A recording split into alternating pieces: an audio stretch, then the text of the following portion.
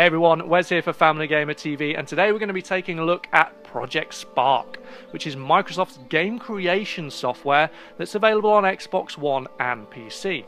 It's a free download for those platforms, but be aware that there are some in app purchases there to help you uh, expand the experience. Uh, but a lot of that stuff you can unlock just through playing and creating within Project Spark itself. So my son and I have been having a go and seeing what we can cook up and we got the first of our videos on Project Spark for you today. So uh, let's have a look what we got for you. Specifically, we're going to try and build a fetch quest for you. So a very simple type of role-playing game mechanic uh, where you go and approach a non-player character, he gives you a mission, you go and find something, you pick it up, you bring it back and you give it to him. So uh, my son Joe's here with me today. Say hello Joe. Hello. Now, Joe's been getting familiar with the interface, uh, so he knows his way around. So he's going to drive, and I'm going to talk, and uh, we'll get some input from Joe as we go. So, Joe, take us in to create mode. So as you could see there on that front page, uh, we've got create mode, we've got play mode, marketplace, and a champions quest to do. And uh, we're just doing the create mode because obviously we want to build something. Now, the more you build and the more you play around in Project Spark, I think you earn credits. That's right, isn't it, Joe? Well, there's these daily quest things that, like, um, you pl- you place terrain for one minute or something. I get that a lot. Um, so there's daily things that you have to complete, and then you get a few credits and stuff. But there's also tickets, which are more rare, but you have to buy with real money. So uh, the game itself or the tool itself rather is free, but there are things you can earn to help you get stuff. Um, Joe, what do you fancy? Hills, flats? I think we should go with hills. Okay, and then we get uh, a couple of choices of a different terrain types. Which one are you going to go with, Joe? I'll go with forest because empty world's a bit boring. Sounds cool, and those trees do look pretty funky. Um, and then we get a choice of the kind of sky that we want. Uh, so we've got morning, nebula, and day. Uh, Joe, pick whichever one you like. Ooh, that's pretty funky. So we have a forest world um, set in a galaxy far away.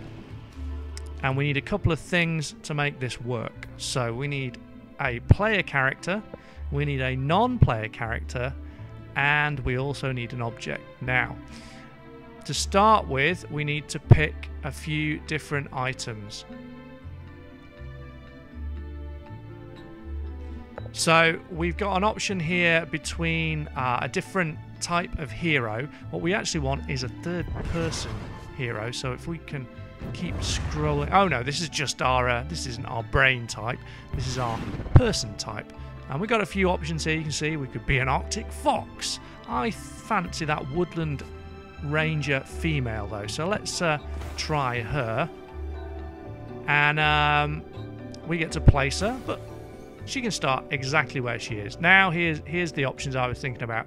We get to pick between different types of brains for our character. And those brains mean that um, they have certain specific controls that allow them to do certain specific things. So here you've got the twin stick shooter brain, third person adventurer, and 2D side scroller. Well, for a quest, I think a third person adventurer would be pretty perfect. So we'll take that, and that's our main character. So we can take her for a spin, or we can do some editing. Um, Joe, take take our woodland uh, ranger for a spin.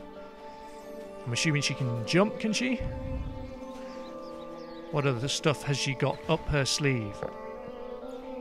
Just as I saw, just as I show, showed you, um, she can throw fireballs, and she can punch, and then she can kind of like dodge. So show us what makes this character tick, Joe. Let's have a look at this character's brain.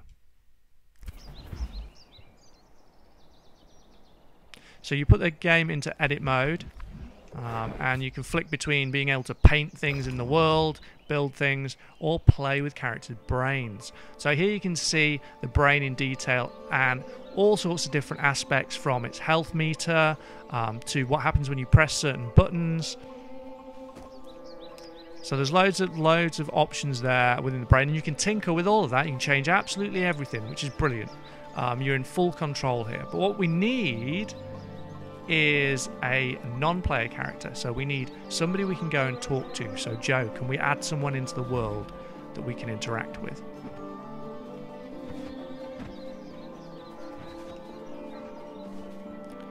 So Joe's going to bring up his options here. So we've got objects, we've got characters, and a vast array of other things we can put into the world.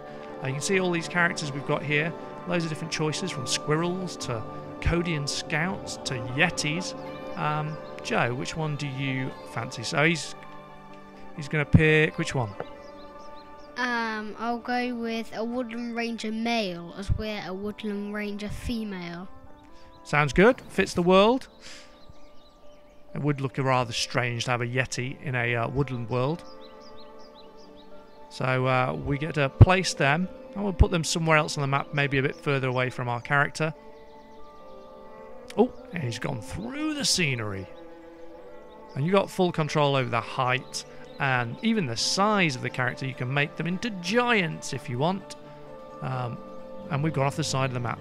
Just maybe plonk it down there. You're going to make him a bit bigger. Don't make him too big. We need to be able to say, see what he's got to say. There we go. That's that's a nice size. So drop him down. Where are you going to put him? Where are you going to put him? Trying to work out which button drops him down, I think. Oh, you want to rotate him in the right direction. Good idea. How do you lower him? Oh, that's it. There we go. Pop him down. Perfect. Okay, so can we have a look at his brain? So here you can see uh, this is a ranger's brain. He's got loads of different options, um, but we don't need really any of this. So we're going to clear out his brain. I'm going to give him a brain wipe. And we're just going to give him a couple of simple things that we want him to do. So we need him to interact with a couple of things, but first, before we do, we need the object that he wants in the environment. So, I think, Joe, you had an object in mind, didn't you? Yeah, I had the, in mind the Hakon sword. So let's take a look at that, bring that up for us, and we'll put that somewhere in the world. And this is a special sword that comes with the starter pack. You can see a load of items here that you get. So there you've got uh, Hakon's sword or Hakon's epic sword. You can't get Hakon's epic sword until you complete his um champion challenge, um, which is I think you unlock it at a certain level, but I'm only at level five, but I don't think I'm at the right level yet. Okay, so we'll just go with a regular Hakon sword. So pick that and go and uh, place that somewhere in the environment. Maybe not too far away. Otherwise, we'll be charging all over the landscape trying to find it. And make it bigger as well so we can see it.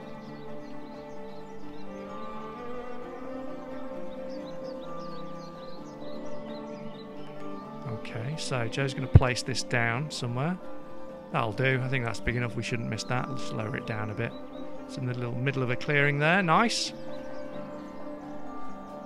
Okay, now the sword itself needs to react in certain ways. So is there a brain on the sword already? There is, and that says uh, if we interact with it, it picks it up and stuff. So that's basically the kind of things that we want. Um, so I think we can leave the sword. I don't think we need to add anything to that at the moment.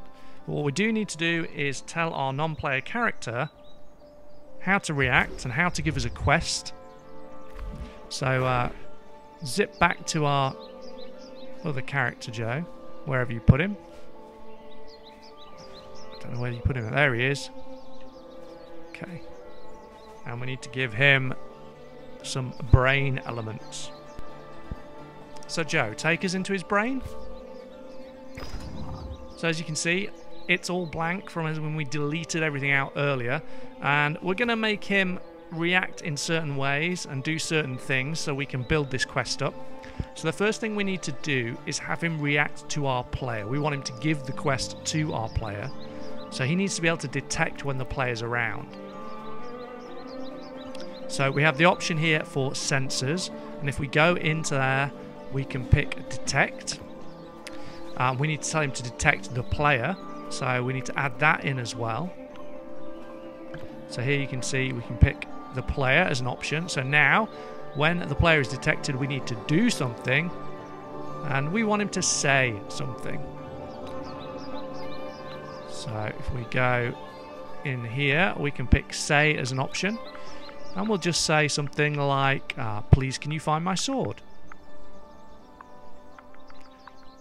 So Joel type that in. So this basic fetch quest, uh, what we'd like to happen is, as our player approaches, he'll say a message to us. This will tell us what we need to do, and in this case, find his sword. We'll then go off, find the sword, pick it up, bring it back, give it to him, and hopefully he'll be able to hold it and maybe even say thank you as well. We're done. So, that's the first piece of the puzzle. Now, the next thing we need to do is we need him to react to the sword. So, what's he going to do when the sword appears?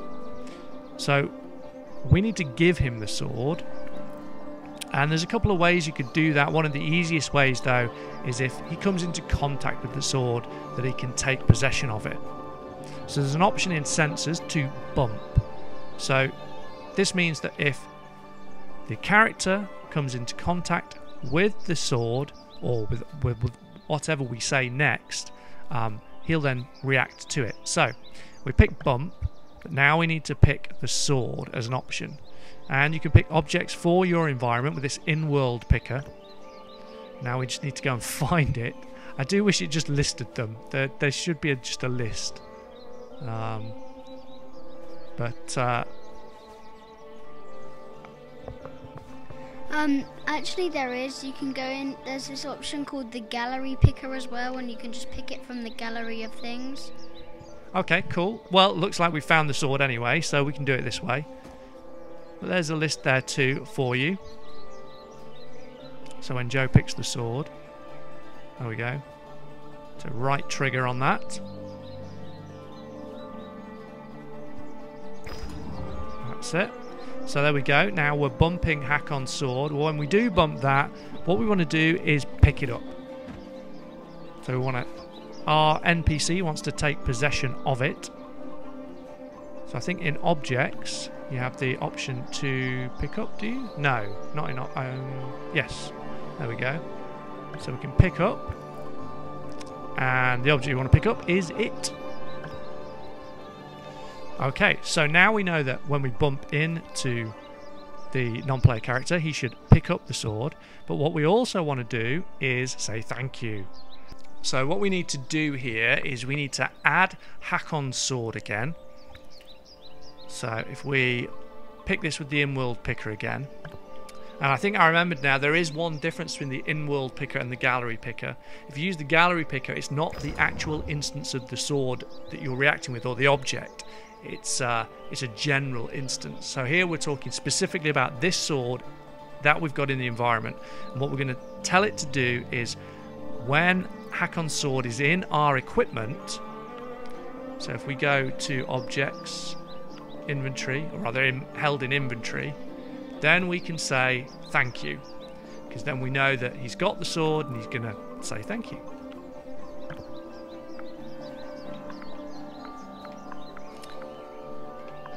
Joe's going to type that in. And also, after he said thank you, or as well as saying thank you, really, what we want him to do is also equip that sword. So we've got the thank you. That's all in there. Now, can we add an and? So there should be an option to modifiers. Is it modifiers? No. It's timing and logic, but that doesn't seem to be there. Okay, so add it as a separate line then. Do the same thing again when Hakon sword held in inventory.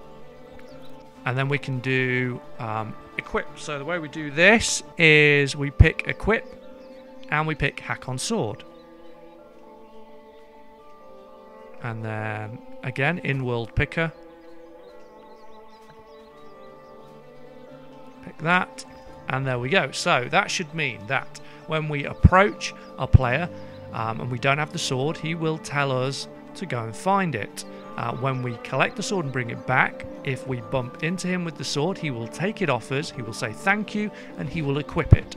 At least that's the hope. Do you think it's going to work, Joe? Yeah.